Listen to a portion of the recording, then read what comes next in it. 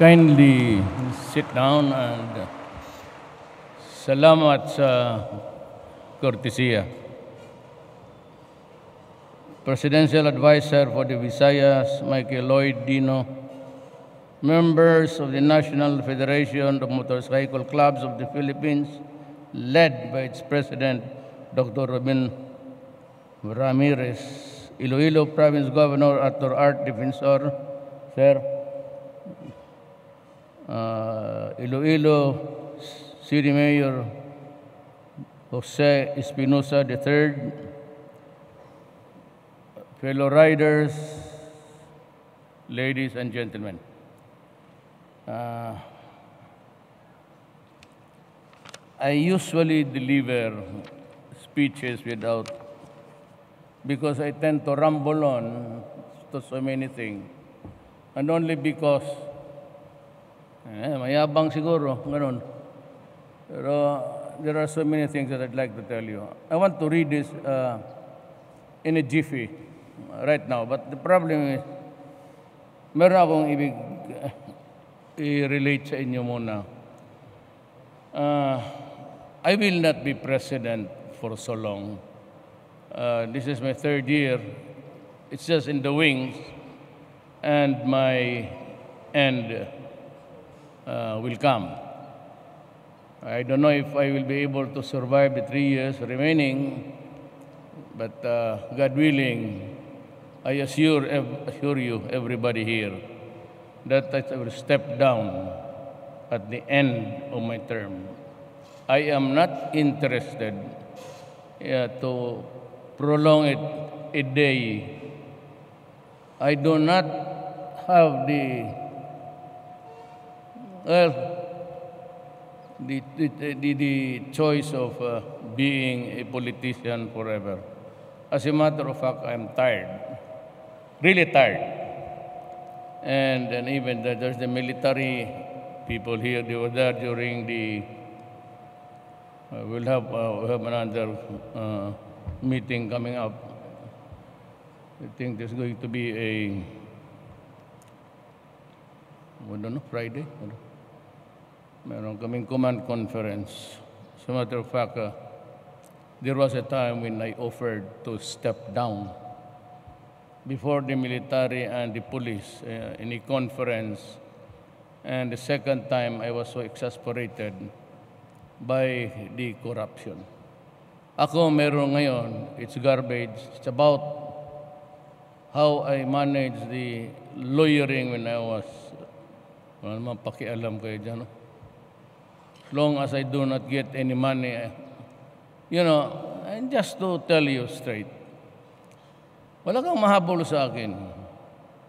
And every cabinet member, meron ka talagang kaibigan, and you can ask, I do not want transactions or contracts of government with any other entity.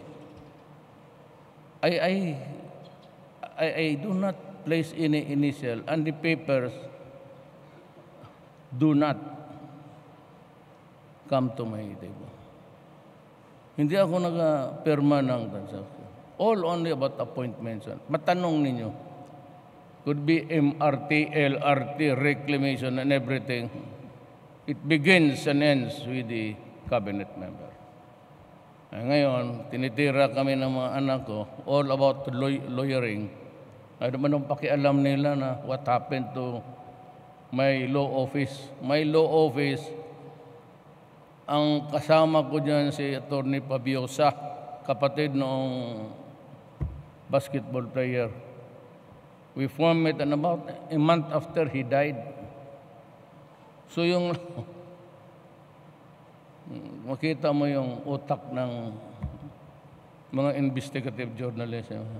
Kaya pera-pera lang, binabayaran yan kung gano'ng kalalaki pati yung lawyering ko, at saka yung, uh, well, yung motorcycle uh, shop. Oh, it, they were selling. Isa ako doon. Kung nagsira kami, uh, because, because of the law and order that hold up yung aming manager. So nasara yun many, many years ago. We just don't know. But, uh, but alam mo, itong mga putang ina to, baka akala nila na sa gobyerno ka, wala ka nang magnakaw.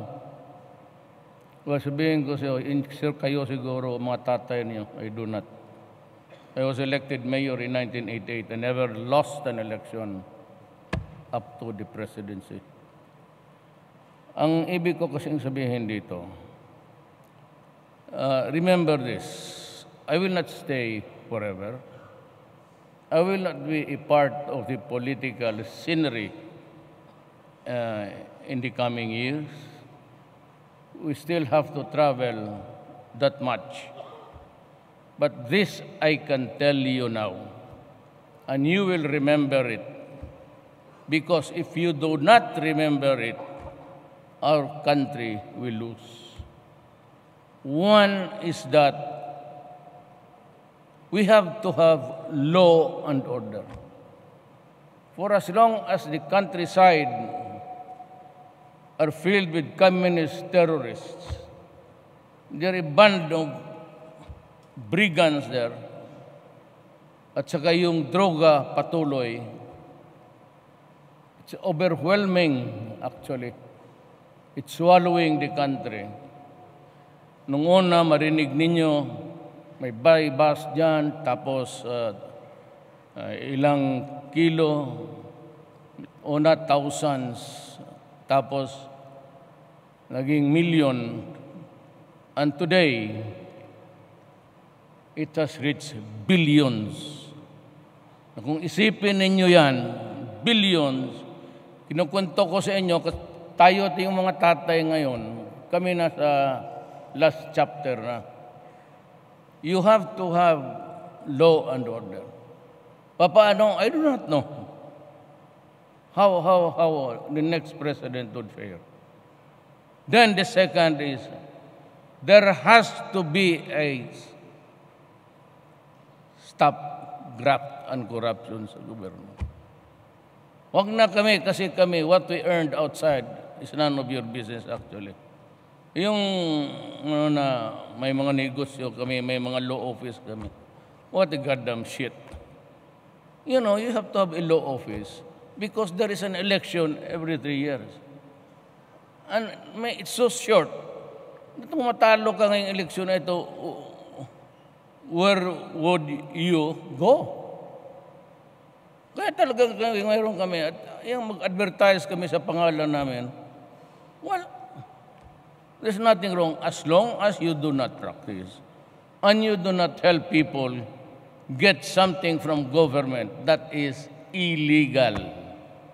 Yan ang tingnan nila. Hindi yung mga law office namin and what happened to our business partnership. It's not your goddamn business. It's my worry. And as long as it is not the people's money, I don't give a shit. Wala ako. Ako sinisiguro ko yan.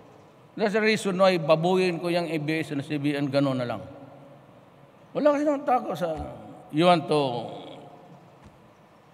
gusto niyo gumanti. Well, sorry. Hindi nga ako, walang transaction. Ang kinuha ko lang yung reclamation authority kasi matagal at nag-squabble yan sila dyan sa pera. Tinanggal ko. Nilagay ko sa opisina, pero hindi gumagalaw. Wala akong, I never act on it. Uh, I, I would maybe constitute a, a another agency. People with uh, unquestionable uh, character para malinis. Pero ang pinakamahirap, sinasabi ko, every, alam niyo every table in government, it's a grid and there's always a monkey wrench. Every table yan, kung corruption talaga yan. Kaya ako, pagbalik ko maybe tomorrow, I'll be firing a lot of people simply for corruption. Kaya yung authority to convert is given to a certain person, tapos pabalik-balikin mo yung tao for two years. To me, that is corruption. Nothing else. Ang meaning niyan is you want money, so he has to go back and forth. That- That's a warning, pati dito sa baba, kayo mga direktor, lahat, national agencies. You only have 15 days to process. Any businessman, any, any Filipino or foreigner doing business there, or even a tourist, if it involves corruption, let me know. Go to Malacanang at any time. Ang sabihin mo lang sa gwardiya, I have to report to the mayor, to mayor kasi tawag ko, to the mayor that I, I'm, uh, uh, I was a victim of corruption. And I will entertain you. And I will solve it for you. Tawagin ko ginabukasan at magharap kayo. That's my style. Marami ko ng beses ginawa lang. Hindi ko lang sinasabi kasi binugbog talaga. Ayan ang problema kasi pero dyan sa Malacanang for the first time itong mga PSG, Presidential Guard, sila ang nakita na presidente talagang nang bubugbog. Sipa pati tadyak yan basta ah, corruption mahirap tanggalin eh. Hiyain mo, saktan mo. The only way to do it is hiyain mo tapos saktan mo. Otherwise, wala. Suspension, nandyan balik. Kagaya lang, si- ito si As- Asierto. Sana ba yung police aid ko? Nandiyan pa ba yung kopya ninyo?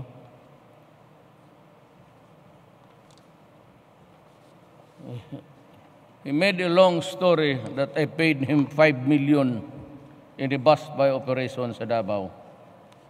Hindi niya alam, January 10, right after, January 4 yun eh, ay yung incident January 1. New Year's Eve.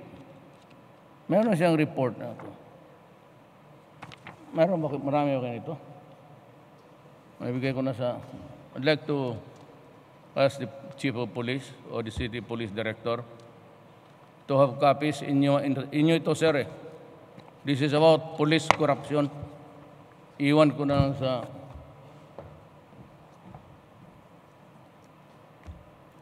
Yan, yan, yan, yung nagpatay ng Koreano. Yun yung, yung, yung Michael Young na yan. I can vouch for him because he was in Davao way back in 1988. Pumunta siya sa akin. Lahat naman pumupunta ng mayor eh. Lalo na pag aliens, foreigners. At sinasabi nila na gustong magnegosyo dito. Sabi ko, and for the first time, lahat ng dosye or yung mga complaint, complaint about Balkinang having uh, links with drug, ginawa ni Asierto. Siya lang, walang ibang papel dyan na... And we never had any Michael Young na ano. Ngayon kasi itong uh, uh, mga in- mayayabang, mga kotse, mga Land Cruiser, mga relo, mga star-studded. Kaya tinatarget niya yan, tapos yung kunin ka, tapos kidnapin ka. Babayad ka. Pag hindi ka makabayad, yung iba, magbayad man, tinutuloy na. Yan ang corruption dyan sa pulis. Pati dito, pati Bacolod, pati Cebu, pati Leyte, lahat tinatamaan tayo. Kaya lang, na if you remember, I campaigned here, and it, it was really a crowd listening to me. Wala akong ibang sinabi.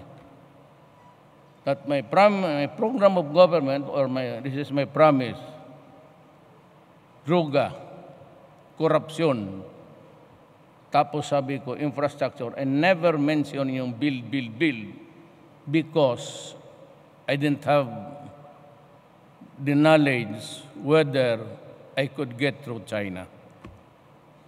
But, but when the Americans suspended the 23,000 rifles that we ordered, and because Marawi was a brewing already, nagpapasa ng armas, alam mo naman, marami, karamihan na sa atin dito, shooters yan eh. Yung bore, panahon pa ni Marcos yun. Yung, eh, ito kasi ang police, hand me down ang mga M16 niya. So it has, it has a lot of bullets going through, eh, just the rifling. What makes it accurate is really it's may rifling eh. Umiikot ng sarili niya yan. The, as the speed of sound, ang bala. Kaya baski may hangin, diretso-diretso yan. Wala na yan. Paglabas niya, wala na yung rifling sa loob. Sumasayaw na yung eh, no longer accurate. Order rin tayo ng helicopter. Sabi naman ito mga unggoy na to, uh, we will we can give you what you want. We, we were buying. Ano sabi ng mga yawa? Uh, uh, you cannot place any armaments there because you you cannot use it against your own citizens. Kasi kung bobo itong mga sabi ko, my citizens are fighting government. The NPAs are there trying to overthrow government. Meron akong mga citizen na abusayap na walang ginawa kung hindi mag-decapitate ng tao, pati sundalo. That's the reason why ngayon, ang army, lahat sila may, and they are also the targets now of uh, Sparrow. I've been telling them, I'll give you the arms. Alam mo bakit? Bakit lahat sila binili ko? It cost us a billion. Kasi sa kanila, ang main weapon nila is uh, the Armalite. Ang pulis, ito. Hindi naman nagdadala ng Armalite yung, you know, but sa southern part of our country, andyan yung uh, Abu Sayyaf. They cannot be satisfied by whatever deal that you can offer them. No. Kasi ISIS yan sila. They take their cue from the Middle East. Wala talang, kaya ang mga sundalo ko, doon, pinuputulan ng ulo pag nag-capture. Sabi ko, putang ina, ayaw kong makita ng ganun. Kaya sabi ko, bilihan ko kay lahat ng 45, 9mm. You choose. Meron kayong sidearms. Fight kayo to the last magazine sa M16. Dito sa pistol mo, may isa ka nakadeploy, may dalawa kang reserba. Yang isang magazine dyan, reserba mo yan. Para iyo yan. Kung maubos na yung dalawang magazine mo, at palapit na itong mga abusayap na sabi ko, huwag kang mag-surrender. Kainin, kainin mo yung gamitin mo hanggang saan. Pero pag nag, sabi yung pahuli kayo, ayaw ko kayong makita na kinakarga ng eroplano dito walang ulo. Kainin mo yung baril mo pasabugin mo yung ulo mo. So you deprive the enemy. Kasi kung mag-surrender ka, dalhin ka sa kampo, bababuyin ka lang parang aso. Pagka, kung anong gagawain sa iyo, pagpamasahe, tapos yung...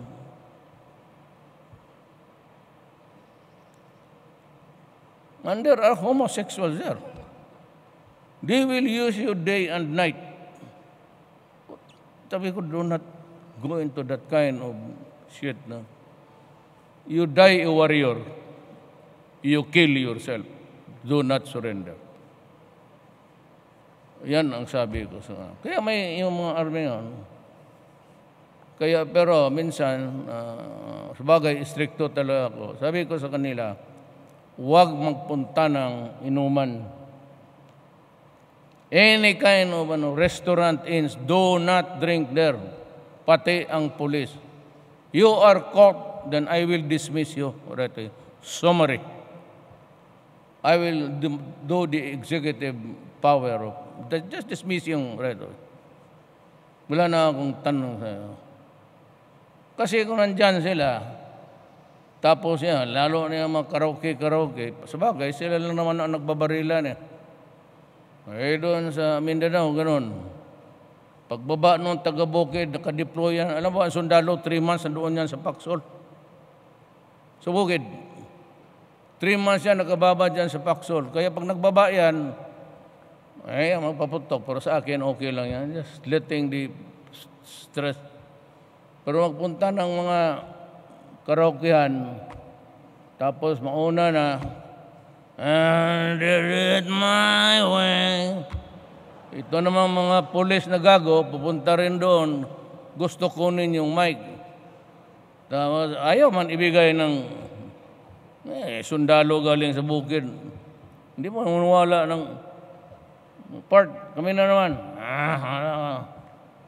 So maghintay yung mga pulis, sige, kanjaw. Tang damo sa ilonggo nga rin. Ah.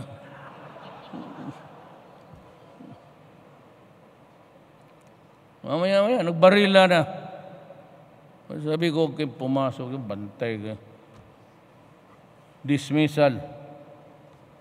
So sabi ko, again, kindly, I'm addressing myself to the police and the military. Been telling you, Sparrow, Sparrow, Sparrow. Kasi kukunin talaga nila yan. Yung armas na yan. Para sa kanila, pag makakita ng arma yung NPA, hindi kahintuan yan hanggang, so, sabi ko, learn the art of assassination. Nga sabi ko, ito totoo to. Kung maisparo ang NPA, bakit wala akong sparo? Oh. Sabi ko sa kanila, well, you form a unit, maghanap lang din para isparuhin yung NPA. Kung anong gagawin mo, gagawin ko. Bakit? Sino bang ikaw lang ang gusto makalamang sa buhay na ito? kundi kagago. Yan. But you know, itong droga, when I was mayor, in 1988, I said, I will build you a city. I'll make it a comfortable one. I will return the streets, the parks, the highways, where your children can walk day and night without being molested, disturbed, unbridled in their journeys back home. Lalo na sa gabi. Sabi ko, stop selling drugs.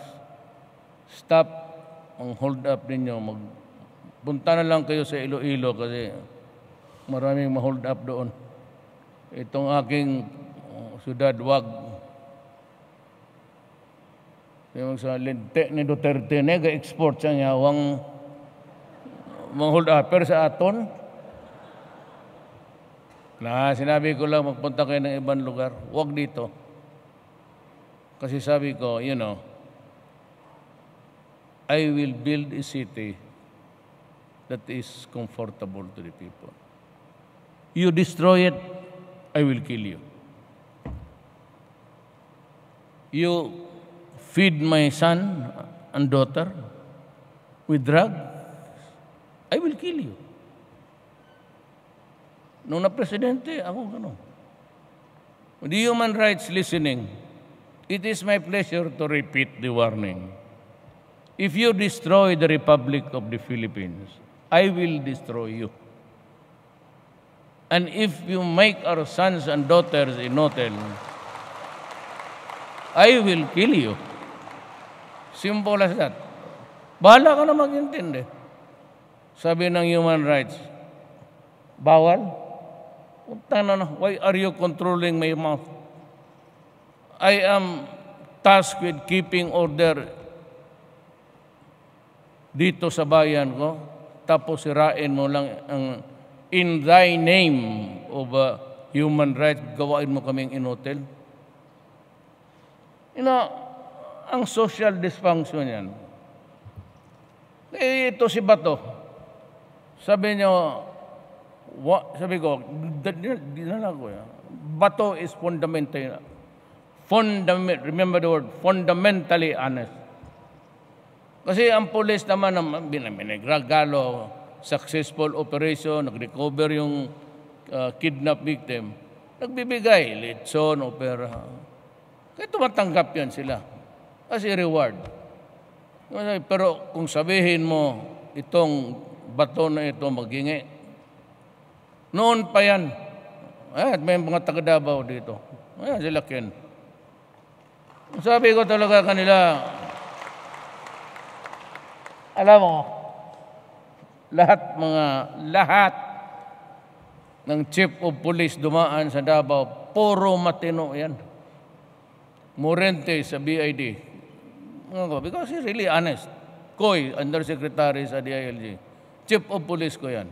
Si Sid Lapenya. Nalusutan lang yan siya doon sa... Kasi hindi taga roon eh.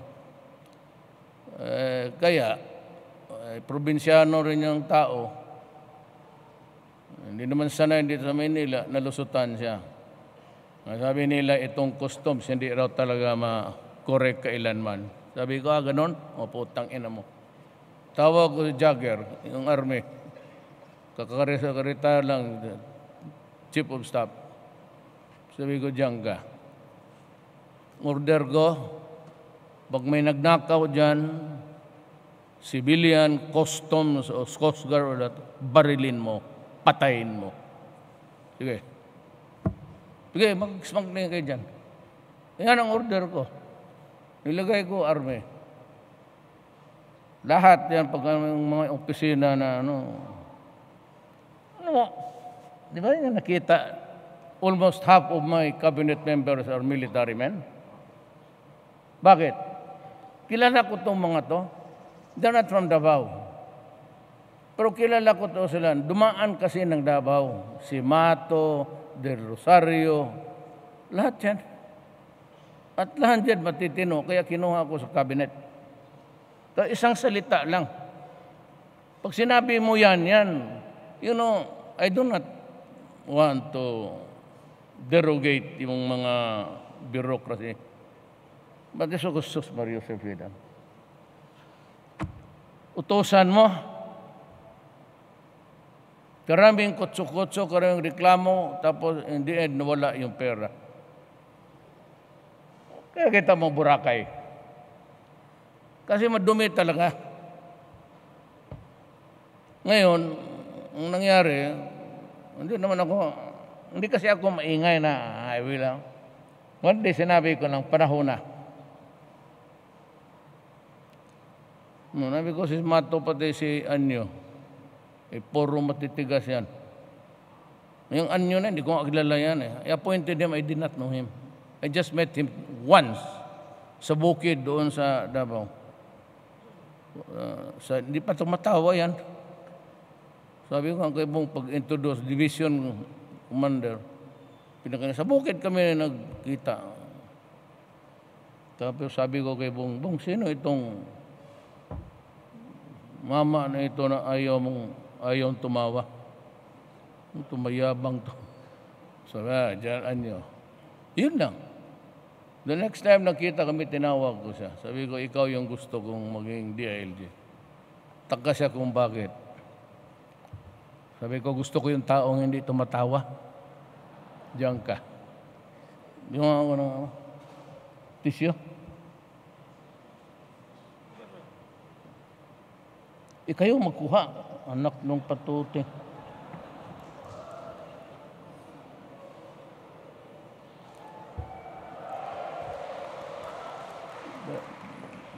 protocol officer ko, taga Bacolod man to. Longgang. Isa ka pa.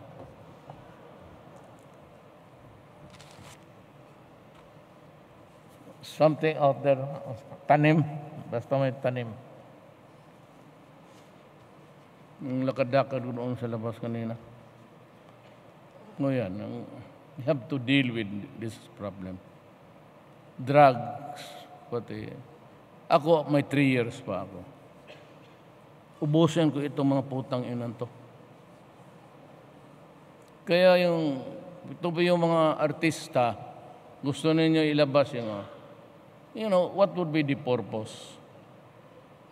Hindi naman sila people seeking public office.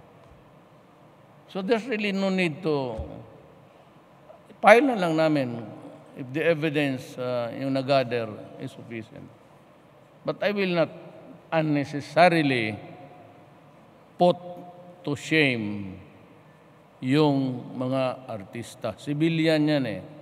Now, yung kayo, kasi you run the risk always because you are aspiring a public office and everybody should know whether you are a liability to the government or an asset. Yan ang purpose ko dyan. Hindi ko kilalang yung mga tao na yan and the dossier or the documents incriminating them. Hindi ko nabasa yan hanggang binigay sa akin on the day of the publication. Pero ako ang nagbigay ng final Totoo yan. Ako yan. I take full responsibility for that. Hindi ko kilala yan.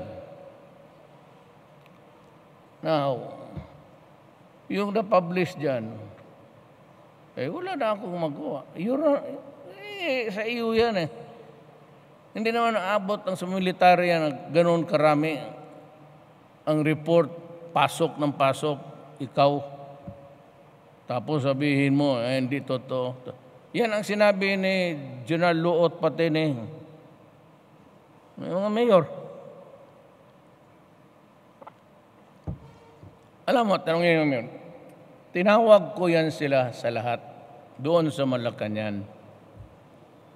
Sa isang kwarto ganito, sinabi ko, alam mo, nahihiya ako sabihin to, or we're just about peers, kay mayor lang rin ako noon, wala akong karapatan mag yabang ng pero ako po'y naiipit.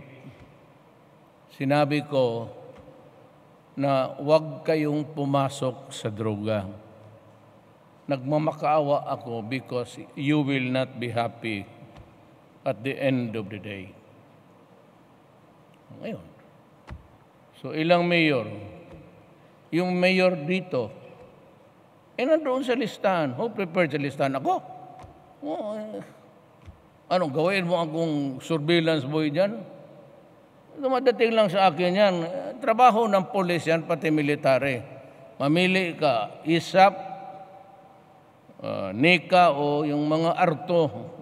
ARTO. ARTO is the intelligence. Tapos yung uh, MIIB sa batalyon. Pero hindi akin yan. Pero ako ang nagpapublish public office is a public trust. So, dapat talaga malaman ng tao. So, yun ang atin. It's law and order, pati corruption. Well, yung, yung publish nila na yung mga law firms, abogado ako, pinaghirapan ko yon. Natural, i-display ko talaga yung pangalan ko. Kasi raw, hindi na ako nagpa-practice, dapat wala yung mga pangalan namin ni Sarah. Pagkaulol naman ninyo. Sinasabi lang namin yan na abogado kami. Why? Is there anything wrong of a freedom to express yourself? Tapos kung anong ilalagay mo dyan sa prohibition, kalukuhan. Huwag lang yung pera ng gobyerno. Wala kayong ma... Lalo na sa akin, sabi ko.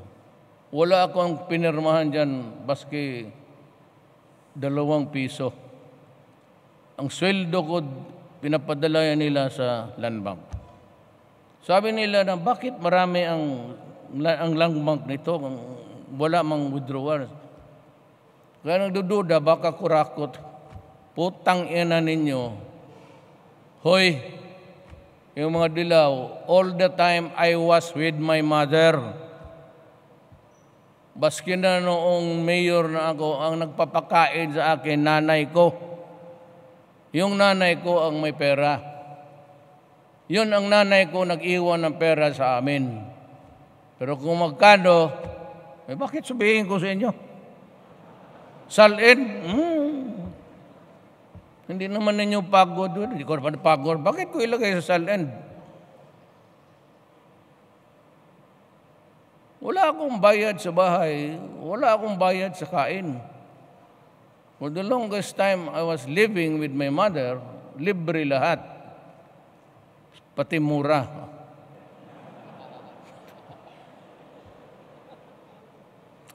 Alam mo, pinto ko lang. Na, na mag-graduate na lang kami, San Beda, lo, put, nakabaril ako ng tao.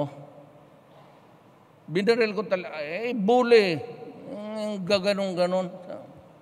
Sabi ko, Adre, pag tinamaan mo ako, 1972, martial law, malapit na. Sabi ko, eh, ganun, ganun, hoy, hoy, alis, alis, alis. Sabi ko, pag tinamaan mo ako, barilin kita. Putang ina, tinamaan nga ako. Ah, let's say ka. Butit na lang. Ako, nahampas ng tan tansyo ko. NBI na sa buhol ngayon nagpa-practice. Na tapik niya, so tinamaan. Pero may tama pa rin. Kaya ako, pagkatapos nakita ko yung dugo, takbo na ako. Doon ako dumaan sa swimming pool sa likod. Ang Holy Spirit, talon ako doon. Doon ako nag... Iniwang ko na yung kutsi ko.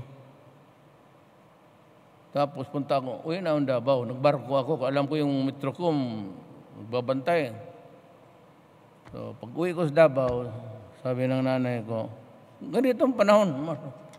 Oh, Rodrigo, kailan ako mag, mag ang ano kasi reason, bili akong ticket, magpa-reserve na ako. Di ba noon tawag ka lang, oh, reservation, si ano ito. Oh, tapos punta ka ticket, bayaran mo na pag doon ka. Sabi ng nanay ko, oh, yung graduation mo, kailan ako magpunta? Sabi ko, ma, ang pare, ma. Sabi Manila, oh, wag na lang daw muna kasi magulo ang... Pahit-pahit talaga yung sa Binjola noon eh. Uh, sabi ng pare, pag, pag, paliban lang daw muna. Di ba? So all those years, nanay ko, from time to time, magsabi siya, Oh, ang graduation ninyo, Medyo kalma naman. O, ewan ko, hindi naman pinatawag ng pare. So, kung sino yung taga San Beda dito, ganito. Minsan, si Father Lacson, kung galing ka San Beda, pati yung mga maestra, nagpunta sa Bukidnon. Sa Bukidnon, nandoon yung monastery ng, ala itong pare ng San Beda, mga monk talaga eh Ewan ko kung anong klaseng, kasi kung pumunta ka sa Church of Transfiguration, sa Bukidnon, mga ano yan, mga bidista yan na pare, Benedictines, ang husay kumanta. Pumunta sila sa Bukidnon, itong pare na itong si Lacson, na tuloy na lang tayo sa Davao kasi si yung mayor niyan, bidista yan nagpunta ng Davao. So, nagbalita na may party kasi nandyan yung mga maestra nag-immersyon. Wala ako sa Taiwan. So, sabi nila ang nanay na lang. Pagdating sa party, pinakilala ang nanay ko kay Father Lacson. Oh, Father Lacson, this is the mother of uh, Mayor Duterte. Hi, hi. Sabi ng nanay ko ngayon, Father Lacson, kailan ba talaga ang graduation nila ni Rodrigo?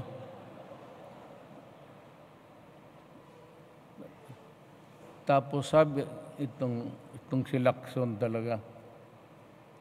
Kaya, hindi, bakit? Hindi ba sinabi sa iyo na expelled yan siya? Sabi ng mama ko, ha? Kaya, kaya hindi siya pinasali sa stage. Wala ako sa yearbook sa 72. Kaya mo. Pero right after, si Solidom, Solidum yun ang paborito namin na teacher. Sinong na, na under kay Solidum? Lunggo yun, taga, I think, antique. Basta Solidum. Aklan. Maghusay na. Pero, ang boses noon ganito ha.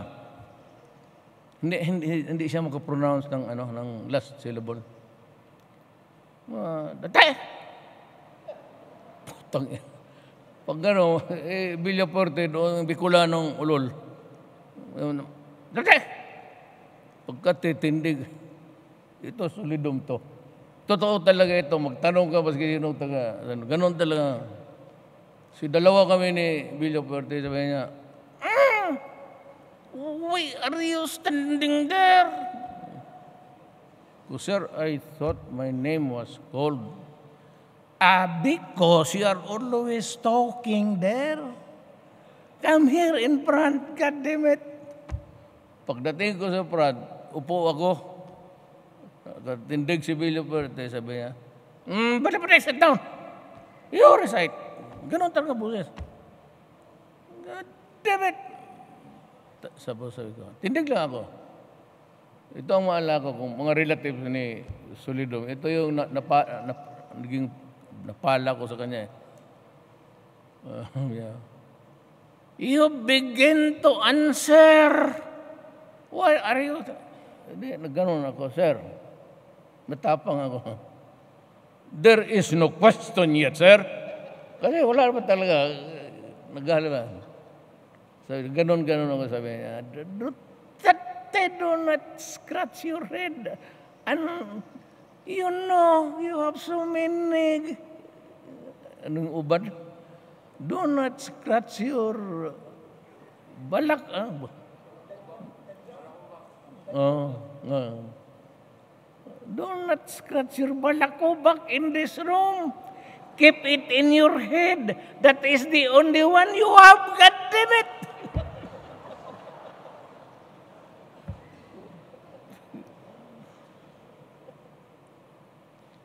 Ganon, pero lahat na dumaan kay Solidum, kay, kung may nagdaan dito, alam mo, dumaan kay Solidum, wala. Mani-mani talaga namin. Remedial law. Pati criminal law, ano, parang hindi kami umabot halos ng almost about 50 minutes. Tapos kaming lahat. Basta pag dumaan kay Solidum, kasi wala to. Mayroong isa dito, Cherry Caliso. Si tumakbo yan ng ano yan. Cherry ang tawag. Classmate ko yan. Eh, I think he ran sometime nine vice governor o vice mayor. Cherry. Uh, mm. Yan ang pinaka lunggo talaga. Yan yung cherry ang typically lunggo. Tawa. Liso! Tindig siya. Eh, ito si Cherry, kung nandyan, saan ka na? Sabihin mo sa kanya, ganito yan eh. Talagang marama. Sir! Tanaw, gano'n siya. Ah, may forma ha. Sabi niya, hmm, klasot! Iputa kahaba ng klasot. Yung capsule ng klasot, mahaba talaga yan. Hindi nag-aral ang buang. Sabi pa ng style niya, ah, yes sir. Klasot, ah, yes, yes, sir. Ah, klasot, ah, klasot, ah, God damn it, starter! Ganito sila. Sabi niya, na, sir. Sabi niya, tapos bigla nagsabi niya, mukha niya, Sir, actually, sir, I did not study. Nabutas yung class guard ni Solido, yung big ballpen niya, gumagano talaga sila. Ay, yun ang ano ko sa, ano, talagang, ano yun, pagka dumaan ka doon, wala, mani mo. Pati yan si Ricardo Bono yung namatay. Na. So yan, ang iiwan ko sa inyo. Ah, bahala kayo, basta sinabi ko. You cannot stop corruption, and walang law and order, nandiyan pa rin yung droga, komunista. Ma- Mang madali lang naman kung gusto mo talaga tapusin. Alam mo, sir, uh, I'm not saying na, I'm not uh, here to criticize. Ano. Pag ayaw ng mayor, ta, at saka yung chief of police, walang droga. Pag sinabi ng mayor, ayaw ko ng droga dito, iba yung magsabi ka na, yun ang negosyo ko, sisibat na lang ako. Pero kung ayaw ng mayor, tapos ang chief of police, mag- mag-usap silang dalawa. Kasi ako noon, sila bato, lahat yan sila, sinabi ko talaga. Walang-walang, hindi ako nagpapatapag-tapang. Po sabi ko, pag hindi tayo nakaintindihan dito, magbabarilan talaga tayo. Sigurado yan. Ah, so mamili kayo. Away tayo o trabaho tayo. Lahat yan sila. Pero yan ang, ang sinabi ko. Hindi pangyabang. Ngunit talagang sabihin, i-call kita pag ah, walang mangyari sa administrasyon ko. Kaya ang Davao, sino maglakad ka anong oras? Ni wala kang makita dyan sa highway maglakad na may sigarilyo. Walang tambay, wala lahat. Sa panahon ni bago lang Villarosa, this guy is a PMAyer. He was assigned to the, to, taga Bato to eh. Ah, alam mo kung bakit Bato to? Kung alam ninyo, yung papuntang Digos, there is a barangay there called Bato. Taga roon siya, totoo yan. Kaya naging Bato yan siya. Pero ang pagkabato niya sa PMA, siguro binubugbog. Eh, hindi talaga tatablan eh. So, nakita mo yung sine? Ah, puta na. Bang, bang, bang, bang, bang, bang, bang, bang, bang, bang. Pati balaka, patay.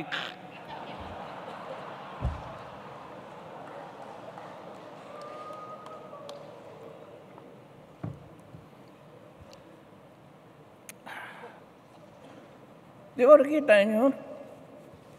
Ah, wala, wala. Lilito lapid.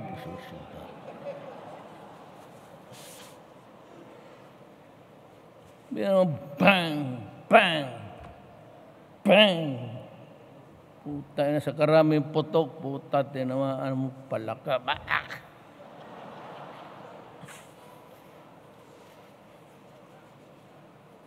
That's my message actually. Now, alam ko na it is not really the appropriate time or But I just want also to let you know that may mga kandidato ako. Uh, do you have the... Would you allow me? Because if you don't, this is not a political uh, crowd. Pero kung gusto ninyong, sabihin ko, sabihin ko, pag ayaw ninyo, okay lang. I will respect your decision. Ayaw lang? Hire ba itong kung... Hindi, para makita lang ninyo. Wala akong...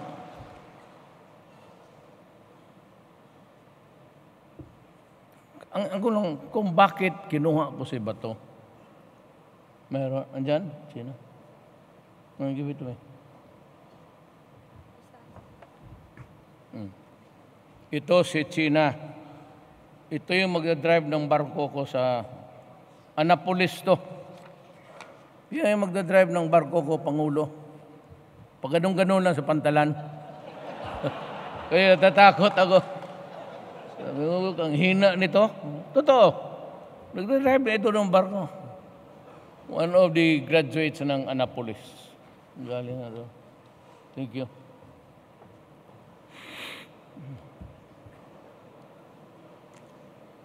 ah, yung Pangulo gusto kong ipagbili pero ayaw man ng nibe. Nagawain siguro nilang ano, wala namang ano yung barko, napakahina.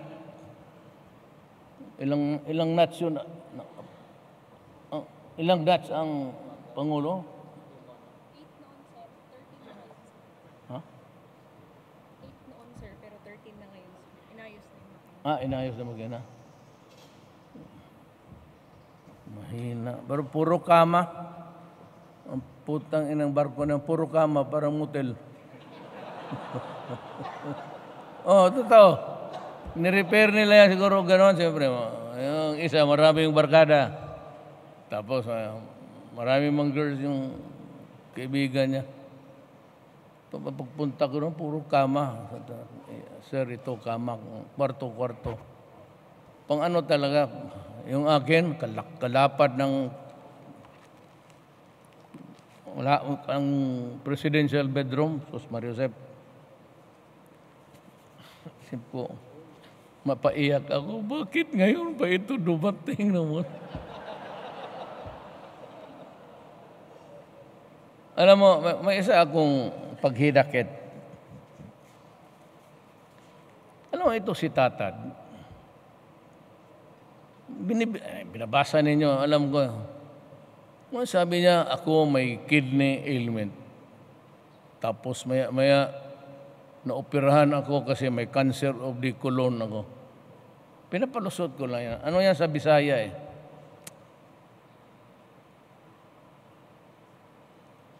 Yung anuhin mo ang tao? Um, oh. Eh, kanon man. Siyempre ako po, pigil-pigil lang ako.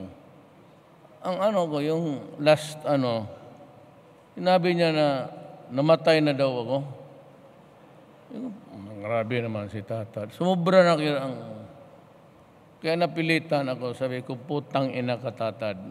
Pag makita kita baski saan, kim, kim mayor ako o hindi na, tang ina mo, sampalin talaga kita. Tandaan mo. Tapos ko, ikaw, putang ina ka. Sabi mo, may sakit ako. Kay Kulon, sige na, ulit yung, binabasa ko rin kasi yung column niya. Pati tuloy ako nagduda na, kaya pati sumasakit man dyan ko. Kaya yung bago ako maligo, hawak ang puwit ko, umuhin ko, Utot mo lang ito. Mo amoy.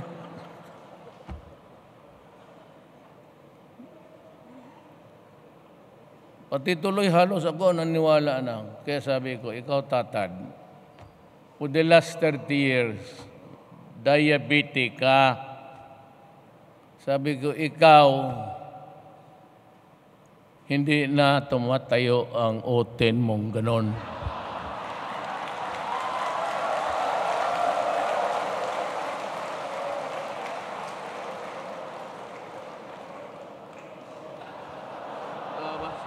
Diabetic.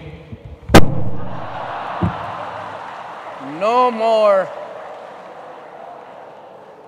Kaya dinagdagang ko, paramin mo ako sa asawa mo, kay pahipo ko yung utin. Pati puwit ko, pati tiyang ko. Eh, alam mo, may mga kapatid ko matanda na may... Tapos marinig nila na namatay ka. Panungo. No, sa Bisaya, panungo. Sama, kaya ako, na, na, na, napundi ako, sabi ko yan. Pero dito, marami rin sa ano, yan, mga dalawang lamisa yan dyan, dito. Hindi, ganon na rin yan. Ganon, ganon. Mag-Viagra ka, ganon yan. Hindi talaga ganon. Pero bantay ka sa Viagra, kasi pag inom mo,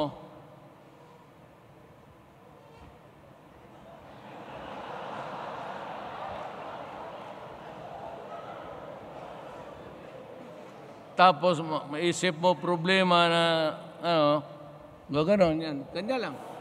Ano no? Yan ang problema sa matanda na. Ah, tayo dito, ayawan ko.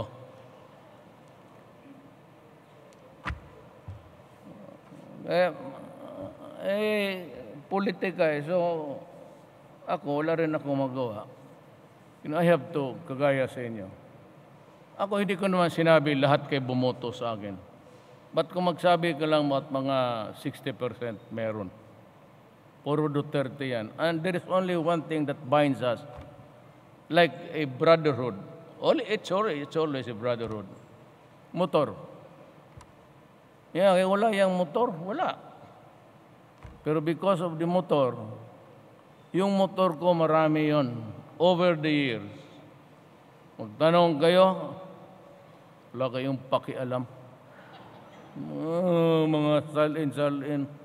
Ya, tapos yung mga, mga justice ng Supreme Court, meron kayong income 37,000, a million. Hindi mo lang ninyo ni-report. Kami dito, mga appliance, appliance. Ay, tinitira nila ako. Alam mo, sa totoo lang,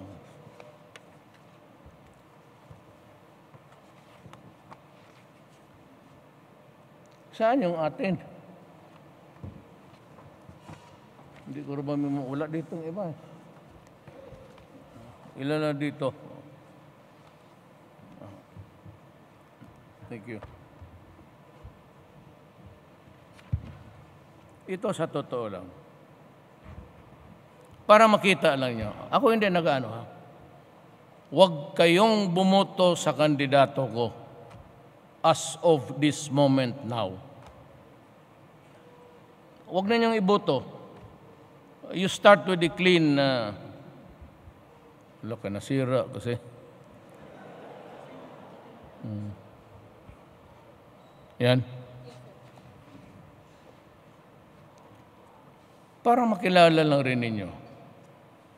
Unahin ko na si Dong Mangkodadato. Nagbumotor mo rin sa may buwang.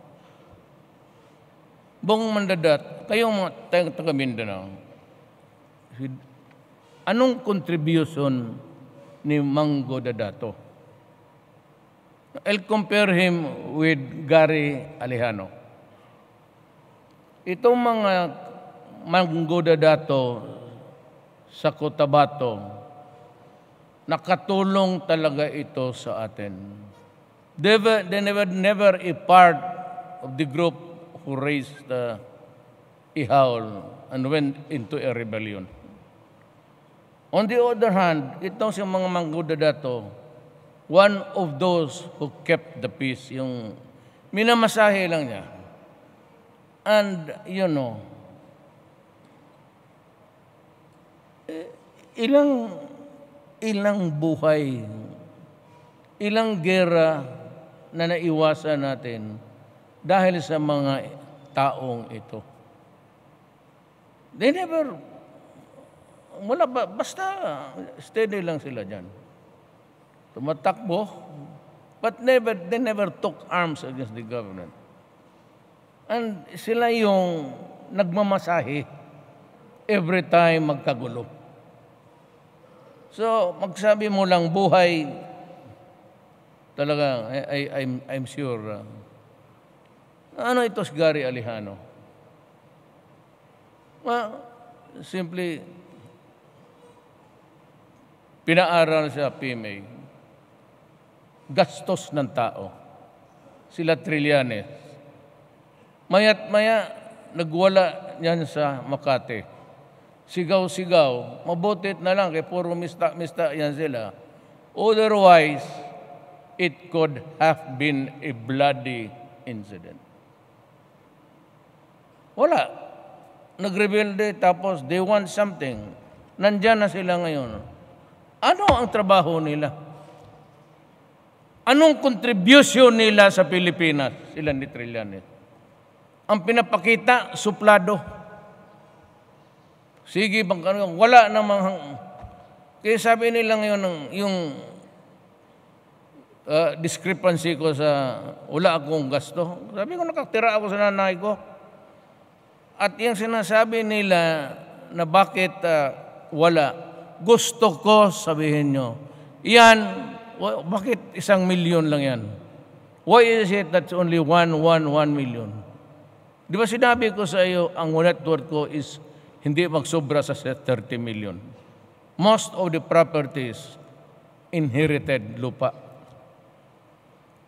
Pero kung kayo magsalita, sabi ninyo noon may 22 billion ako.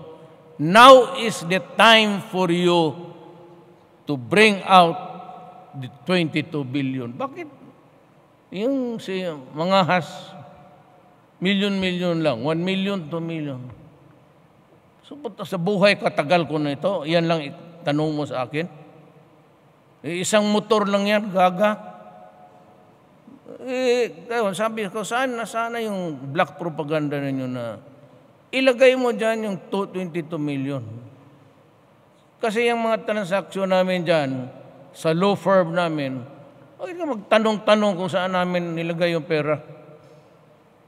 Naubos yon dahil yung partner ko, yung basketball player na kapatid, Pabiosa, Oh, few weeks after yung opisina na tayo, ang kasakit-sakit. Naubo, abunado pa ako eh. But he was also lawyering for military and police yung nagkakaso ha. Father-in-law kasi niya, binira. Kaya itong, ito si Bong, Bongo, alam mo bang ginawa niya? Kaya taga Davao. Pinatay ang lulo niyan. Batangin niyo to. Tisoro is ibatangkin nyo yung barong migrated to Davao, ang isang nanay niya married the Chinese, Go. Pero yan si Bong ugali nito, ugali batanggin nyo to, eh, salbay Pero wala ang tumasabi. Alihano, anong ginawa? Eh, bigyan mo lang ako isang rason. Susuportahan natin to. One good reason na ginawa niya. Compare mo kay Manggunadato, marami. Ito, they were out to destroy lives. Itong mga, mga Manggunadato, they were there to make peace and save lives. Mamili kayo. Ah, sabi mo, Maguindanao to, moro nga. What's the problem sa Moro? Oh, nakuha ko yung BUL, nandiyan naman. So in the meantime, okay na tayo dito sa Central. Yung mga Maranao na lang. Ang problema yung Maranao, doon ako. Ang lula ko kasi Maranao. Yun ang medyo hilot-hilutin pa natin. But otherwise, ang nagpaiwan na lang yung sa Sambuanga, ng mga terorista hanggang doon sa Patikol. Tingnan lang ninyo, yung, yung dimensions lang. Wala akong sinabi na ano, oh, ito si Bato, Bam Aquino. Ano ba ginawa ni Bam Aquino? Anong anong contribute niya? Tapos yung mga laws na si, nagbumoto siya, sabi niya kanya. Putang ina, nagkampanya ako dito, I remember. Ilan lang, sabi ko, I will work for free education and universal health care. Nandyan na ngayon. Nandyan na free education hanggang college. Yung sa ospital ngayon, pumunta ka lang sa ospital. Ang imbento yan ni Bong, malasakit. Ayun, matapang at malasakit. Nandoon na yun ngayon. Yung mga pobre lang. Pero yung mga dato, ah, yun ang kailangan yan. Total, pag nasimplang yan, kaya mo yung dalawang paa nakataas. Sige, hirit pa kayo. Puta. Alam mo, ang motor, Adre, is a powerful uh, gadget to give you joy. Pero pag sinubrahan mo yan, dudumugin ka talaga niyan. And remember, ang kalaban mo diyan, kasi pauwi na kayo, simento at bakal. Kayo bantay kayo diyan kasi alam mo yung, ewan ko kung, pero kami rin noon, hindi mo rin kami sinaniwala. Mabuti kami, lumusot na. Kaya kayo yung mga bata, alam mo yung speed na 160. Wala, di, hindi mo alam kung ano ang nasa ano eh. An, lalo na ngayon na marami ng when China market was allowed to come in, mura na ang motor. At ang problema nito, isa pa yan si Senator Ejercito, yung i-release nila sa kasa, parang, parang refrigerator.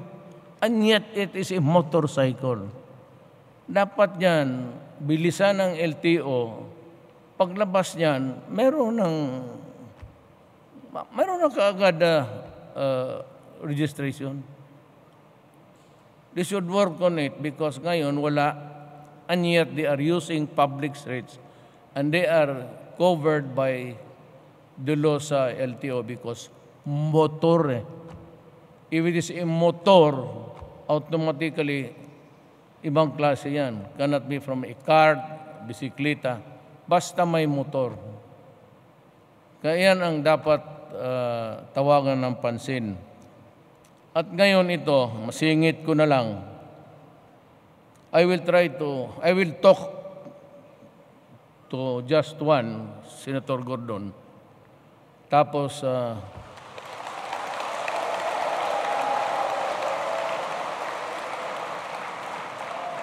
sabihin ko sa kanya na alam mo, ibang countries, uh, as matter of fact, all countries, walang plate number sa all motor vehicles. Mot- walang plate number sa harap. Diyan yan yan sa likod. So, I will try to convince the LTO to maybe hang on to it. I-suspend ko lang muna. Lang. Kasi it is not good.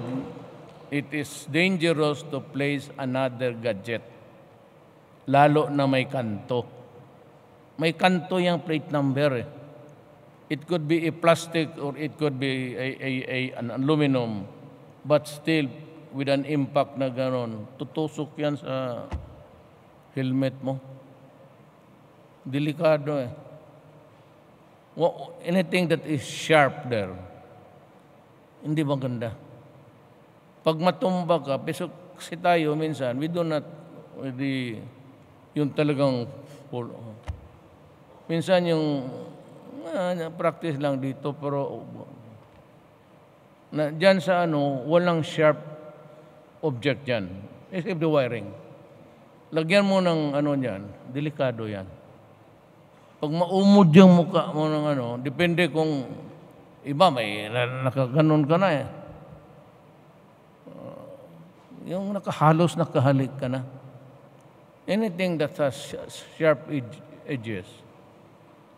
Medyo tanungin natin ang LTO or we can always uh, para walang maipit uh, ano na lang uh, kausapin ko si Gordon para na lang to satisfy because alam mo kasi kung bakit pinirmahan ko. Ay, alam mo, ang pulis tao ko yan, ang military tao ko. Ano ang irekomenda nila? I will adapt it. Basta may maglagay lang rational or reason or rationally if you want to pronounce it that way. Ang compromise dyan is siguro para siguradong visible. Ano dyan si John Galvante. Si, ikaw ba yan, sir? Maano mata ko, ano na. Ayan, narinig na niya, so kausapin ko si Gordon. Maybe, at saka, mahal masyado, sir, yung ano, yung, yung fine, 50,000. Ma, ma, ma, masyadong mataas.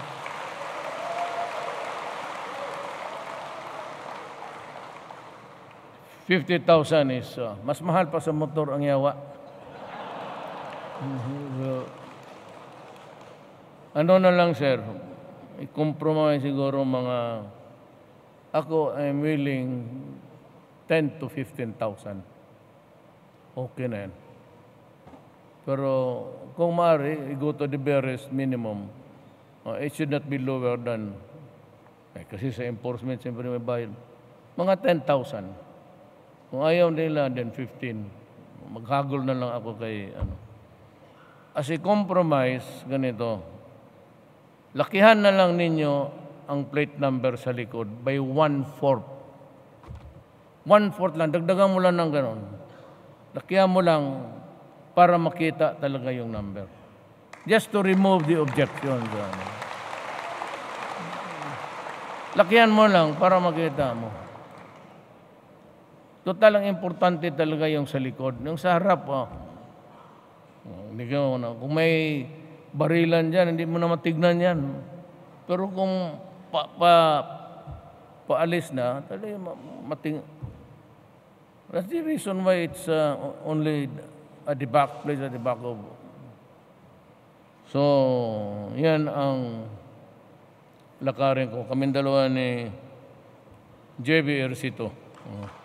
Kandidato rin yan. Wala ma rin akong masabi na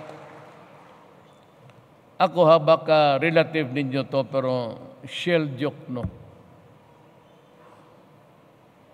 Tinanong pa ang yawa kung ano ang nagawa ko. Sabi niya, up to now, no smoking. Kaulo.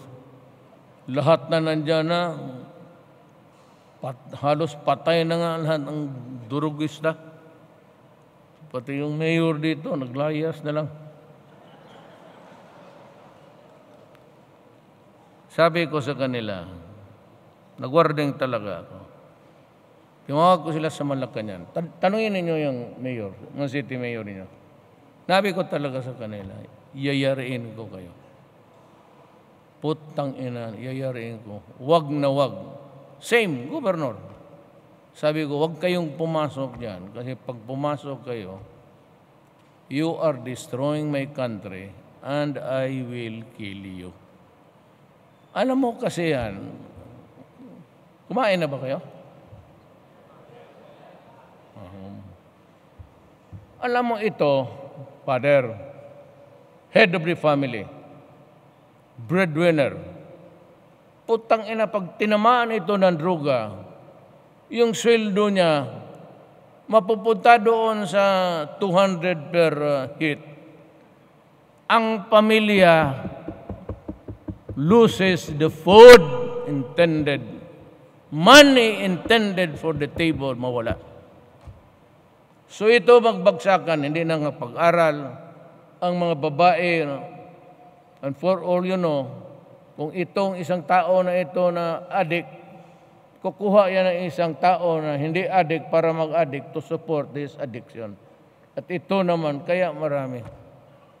And it's caused social dysfunction sabi ni Bato, 1.6. Sabi ni sa Santiago noon, 3 million. Tama silang dalawa. Yung kay Bato karamihan, Manila lang yon. Manila number yon, wala pa ang Cebu, Davao, Iloilo, lahat, Pampanga, may tama pati Abra. Kasi pera eh. Kaya marami dyan pati pulis, military pumasok dahil sa pera. Madali ang pera. Kung ikaw mag-invest ka ng 50 mil, barangay captain ka, putang ino, papatayan talaga. Litsi ka. In two months time, three months time, milyonaryo na yung buang. Kaya makikita mo sa dilim mga ganda. O, totoo, sabi niya, Tingnan mo yung mga bahay ng... Tingnan mo yung mga bahay nila. Makuha nila ng sweldo yan. Walang negosyo. Para hinog. The most obscene thing that I've seen in my life. Ginawa niyang wallpaper ang pera. Tag 500. Wallpaper. Tapos yung mga pulis na ayong sumunod sa kanya, dalawa. Yo, nakita nung paghukay, nandiyan, naka-uniforme pang. Ganon rin si Espinosa. Dalawang pulis niya, binaril niya dyan sa palengke. Tapos yung bahay niya puno ng droga. So, magdating itong human rights, pati yung due process, ah, let's say kayo. Kainin yung due process. Due process. Sisirain mo bayan ko. Siguro kung away-away lang dalawa tayo, maybe, maybe. Pero kung nakataya na ang bayan ko, putang ina mo, yayariin kita. Taga mo sa buto yan, kay marami na kayong nayari. Ito, si Babilog. Sa tanong siya kay Bong, galit ba si Mayor sa akin? Ay ni Bong, galit ka ba daw Mayor sa kanya? Sabi ko, siya ang isunod ko. Oh, sibat. Totoo man, huwag lang tayo magbulahan. Hindi ka papasok dyan ng isa, dalawang ano lang. It's a constant ano, lahat na intelligence ng ISAP, intelligence ng NICA, intelligence report ng Philippine National Police. Tapos bulahin mo pa ako. Ngayon, luot na yan. Dalawang beses na inambos, buhay pa rin. General, general. General problem kanya.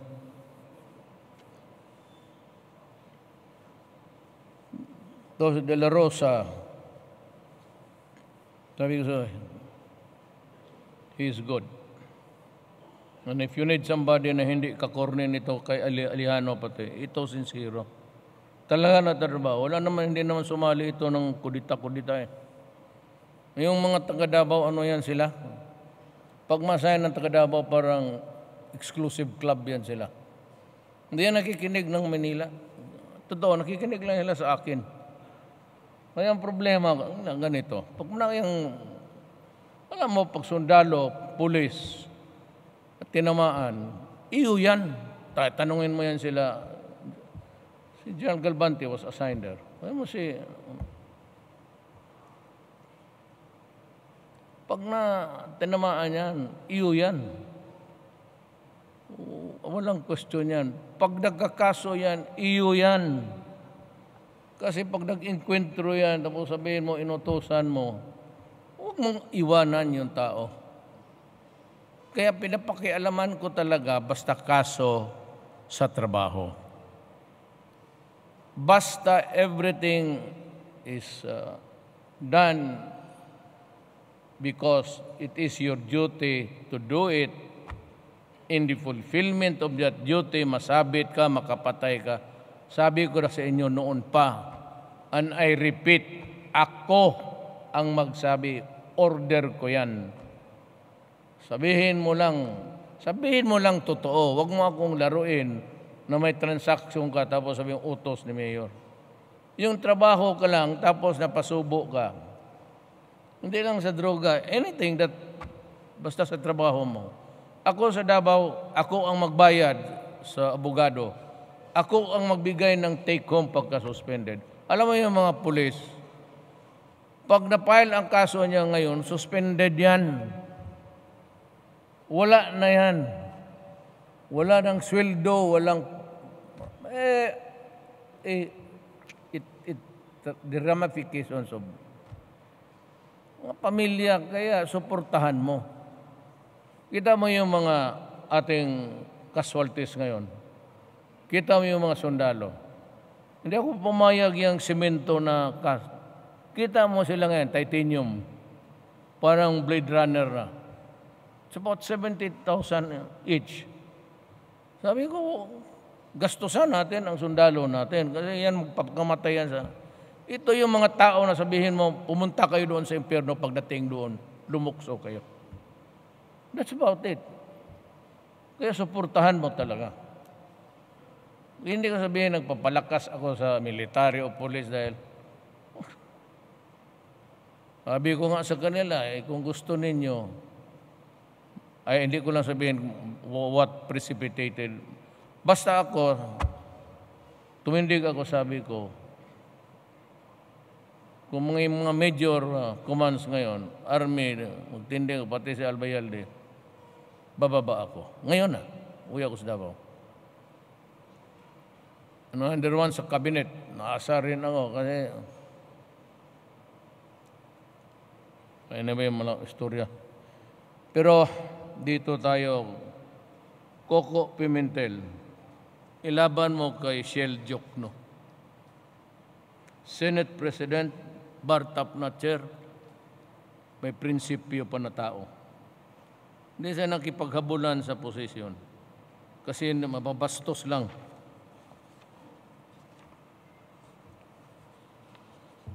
Ito si Hilbay. Itong inan to. Solicitor General. Mabuti lang ito sa solicit. Oh, General, wala na. Sino ilaban mo dito? Francis Tolentino. Believe naman talaga ako nito. Eh, three times, uh, tignan mong resume ha. Ang resume niya. Napaunlad ang Tagaytay bilang mayor. There's no question about that. Dating Metro Manila Development Authority, chairman ng Pangulo ng City Mayors League ng buong Pilipinas, general sa Philippine Army. Ako nga, baski sarhinto, hindi ako mabigyan ng baski honorary sergeant, wala. Ni tansan, wala. Baski sana ibigay tansan na lang. Wala. General, isang international environment lawyer, nagtapos ng Master of Laws sa University of London, uh, designated as uh, crisis man. Utility lang siya, inuutosan ko kung saan yung, sabi ko, diyan ka lang. Yung pagmayon, kung ano yung ba dyan, siya ano, diyan ka. Ikaw ang mauna, diyan ka hanggang magtapos. Then you report to me. Ito yan siya mautosan mo, humble pa.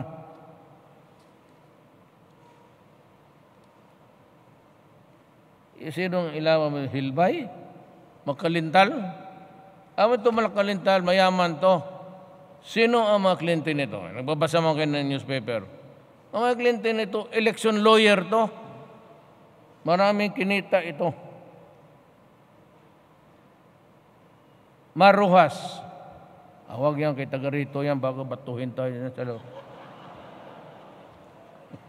Tapos, ay, kasi ano na eh. Uh, ako naman pag, ako, kayo mga, kayo mga militar yan, dumaan mo ang Davao. Pag nagsabi ako, yan, yan, yan. Pag nag-shake hands tayo, okay, okay na yan. Gano'n, pag andyan tao, tumba na. Irin Tanyada, anong ginawa nitong gagong to? Senador? Totoo. Pero siya yung abogado ng mga left pati komunista. Anak ng waiting, binabayaran noon kasi senador. Di mo anong ginagawa nila? Ano ba ginagawa nila sa bayan? Yung pang-8 kasi babae ayaw ko nang pag-usapan. Tingnan naman itong akin. Freddy Aguilar. Hay ka ha, makinig kayo. Bakit ko ito kinuha? Freddy Aguilar, nagkaibigan kami, Vice Mayor pa ako. May mga 84, 85.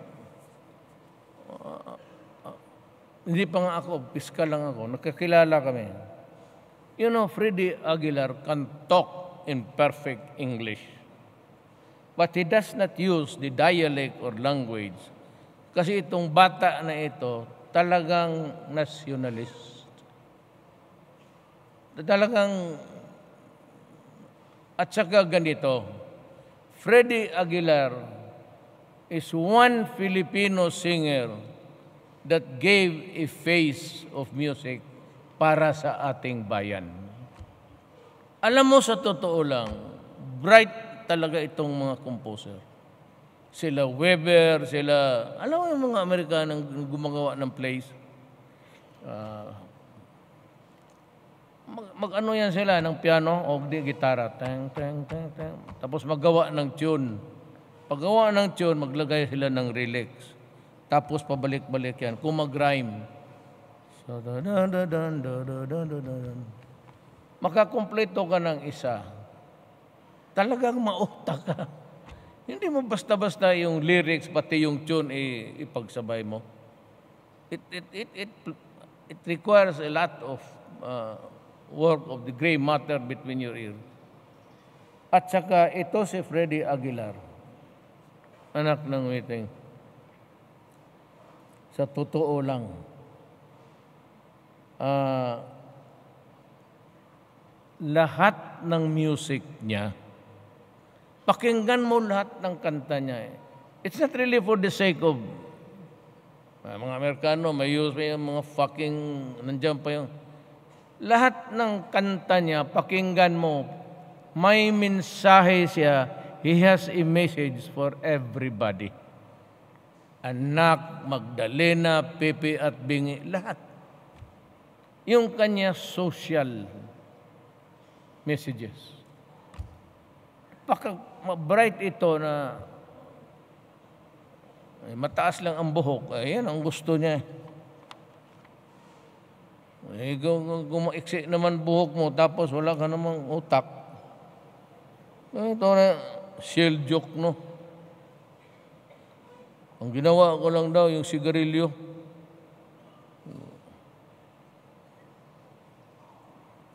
Kasakripisyo ko, pati buhay ko. Hindi lang ako magyabang. Ako yata yung, ako lang ang presidente na pumapasok talaga ng ulo. Diyan, sa patikol. Akin naman, kung panahon mo na, panahon mo na talaga. Si Secretary Rafi Alunan. Alam mo, mas mabuti yan. Yung mayor ako, tinawag niya kami. Galing siya sa Amerika and he was told by the DAA, Drug Enforcement Agency, sinabi, panahon ni Ramos ha, siya yung DILG, tinawag niya kami, kami mga mayors. Sabi niya, na sinabihan daw siya ng DAA, at the rate your country is being swallowed by drugs, it would not be a surprise if you end up in narco state in the coming days. Kaya nung nakita ko na pumasok ako, makita mo lang naman noon na mag-surrender, by bust. Yung panahon ni Bato, yun, nag-surrender lahat. Nag-abot ng 1.6. Ganon karami. Hindi lalabas yun kung hindi ako naging presidente. Daladala ko si Bato, sinabi ko, buksan mo yung papel, documents sa drugs. Doon ko nalaman na itong mga police generals, garbo, loot, pati siya. Kaya sabi ko sa kanila, Kaya al- sabi ko, sino pa? Tinignan ko ang customs. Putang.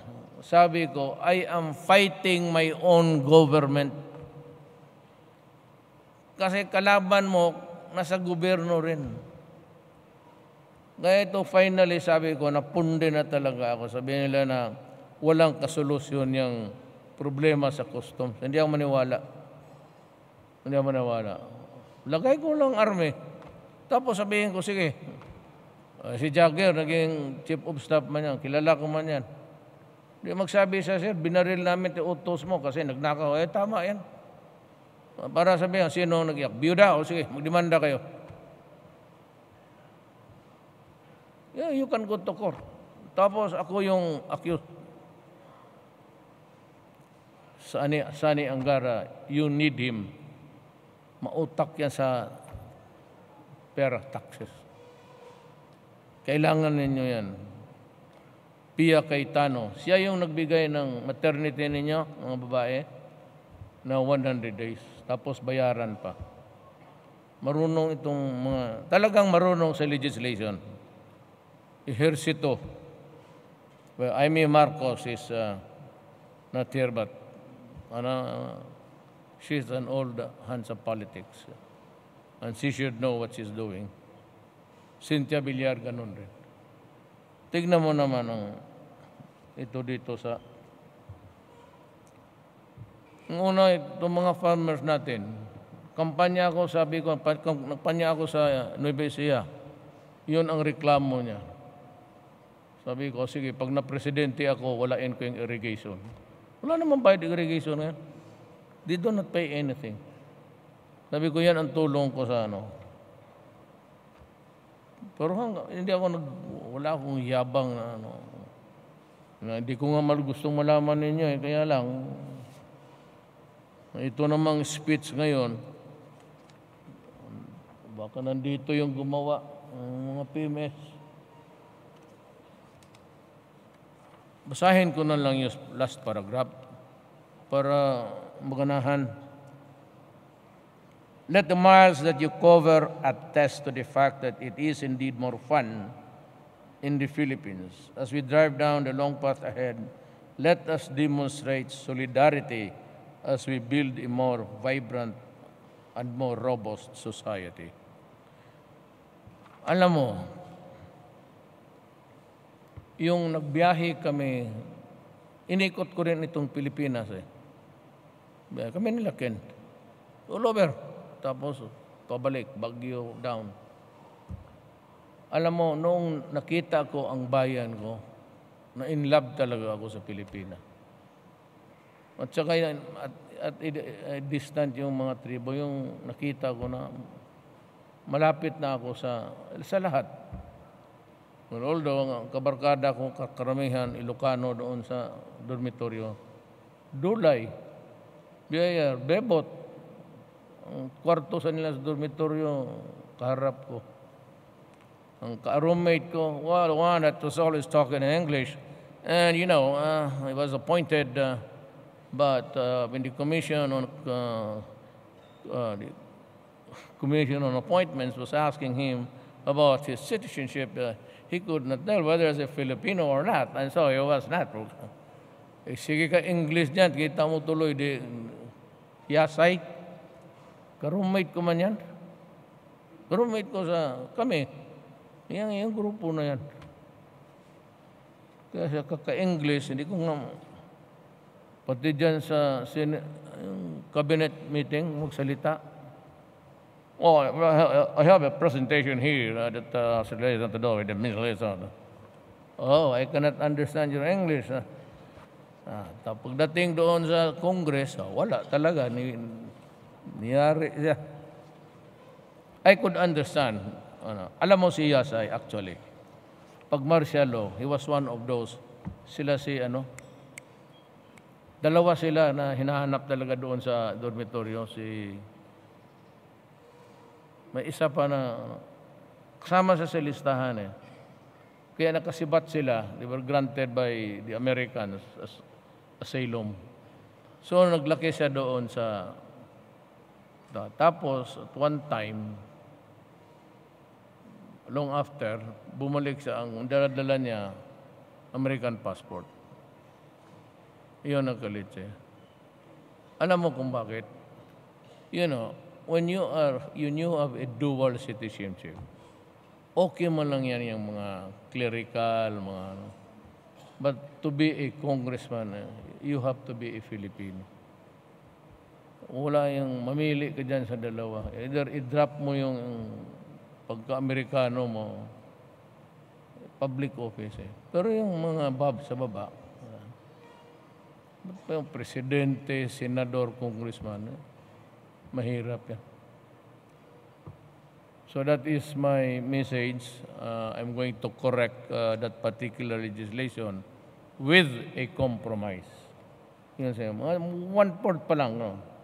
Just to satisfy na baski sa malayo, makikita talaga. Meron akong motor. Uh, may Vulcan ako dyan Mura na ang motor ngayon. Oh.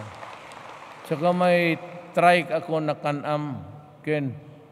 Bago, binigay ni James Gaisano. Oh, sabihin naman ako, saan yung deed of donation? Ang tayo na ito mga investigado. Ahas talaga itong palimbasa. Meron ako, pero hindi ko pa talaga nasakyan nandyan sa, nandyan sa compound. Uh, hindi ko pa na, malaki, malaki na. Puti. Alam niya, kasi yung lahat ng motor ko kinuha ni Inday. Lahat talaga kinuha. Ang masama pa niyan, may niyabangan akong babae. Sabi ko, you want to see my motor? Yes. Sabi ko, ah, punta tayo doon sa grahe. Pagkabot na mo nga to, hala, sa'yo naman akong motor.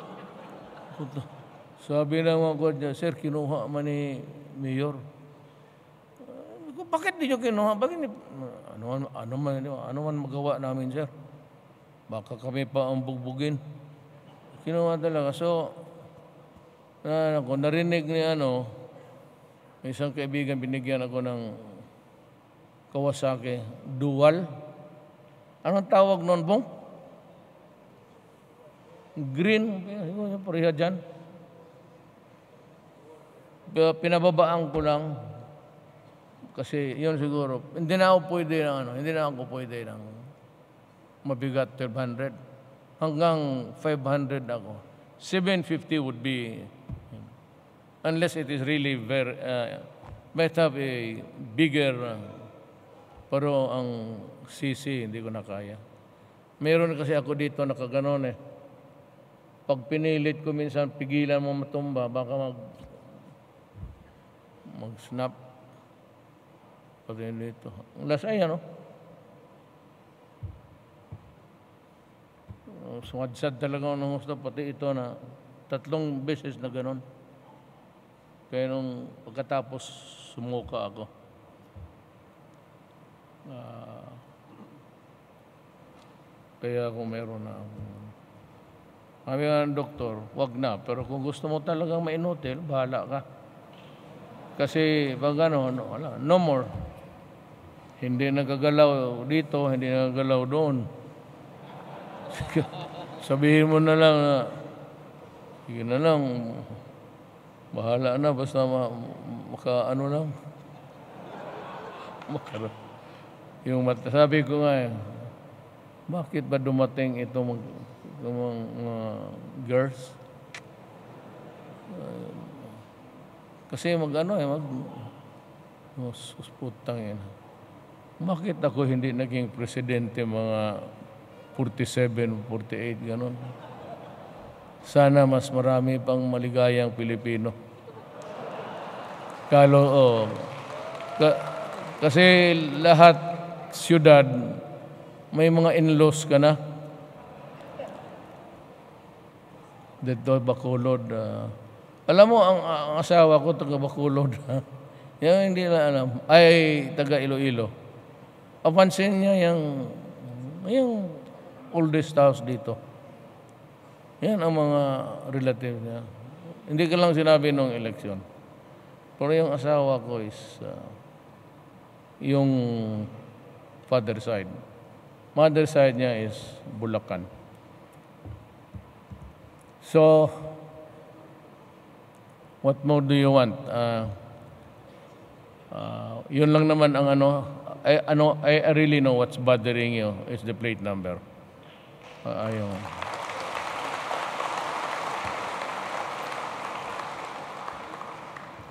Palagay ko it would not uh, really make a difference kay Manong because of the we have perfected the criminals of the of uh, uh, the Philippines have perfect the art of falsif- uh, falsifying fabrication wala. Hindi naman lahat natin mapara. Yung matay, may nga, mahuli na.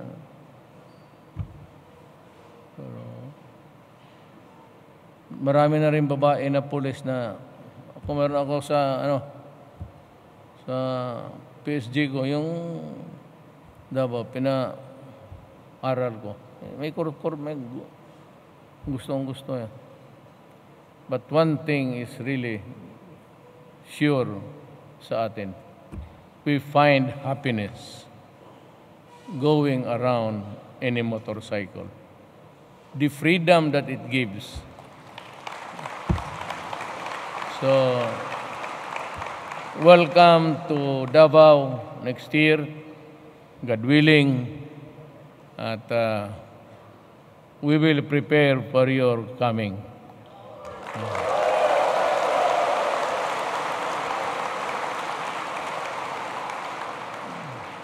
Yung mga girls, pagdating ninyo sa boundary, sila na ang sasalubong sa inyo. Huwag na kayong magdala ng baon kasi pag uh, kaya may mag, sigura, siguraduhin ko lahat may mag-back ride na sa inyo. Pero ito hindi lahat front wheel drive ha. Baka ano to. Basta magsalubong sila sa inyo. May angkas kaagad kayo. Medyo before uh, boundary, medyo pabango-bango kayo ng konti. Kasi mabaho talaga yung putang ilang araw. The longest stretch actually is Surigao, Davao. Yun ang pinaka in mileage. Yan, tapos daan ka ng agusan. Ilang, pinakamalayo yan. No, yung, yung isa yung paikot ka ng, labas ka ng Bulacan tapos sa Cagayan. Maganda ang Pilipinas, maganda ang buhay natin. Huwag natin, we do not allow anybody to spoil the lives of the Filipinos. We are at present almost okay. Yung hanggang dyan lang. The economy is only that much.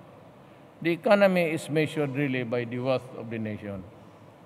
Eh, yung Amerika, when you, when you, when you are a house, when you have a factory at the back, at nagbili ka ng eroplano, barko, then lahat may trabaho, quality of life is good and the national wealth is mataas. Not even dollar to a peso. Kasi ilan lang tayo dito may factory talaga. Ilan walang trabahong Pilipino. Sabi ko nga, I cannot make any fulfilling uh, promise because malapit ako. I, I, I can only help the country by being strict. And uh, uh, allowing the law to take its course. Para, importante kasi maniwala lahat. And in the meantime, sabihin ko lang kay ano na, kay, nagsishare ako nito kay Ardian siya noon sa Davao eh. Pero kumpare kami, si Ed Galvante, we'll just look for a way. In the meantime, sabihin ko na ang kayo para walang misgivings na why are you not uh, uh, enforcing the law. So bala ka na mag, maghilot doon at um, masayin mo natin si Gordon. Then I will write him a letter and perhaps he can reconsider. Salamat po. Mabuhay kayong lahat.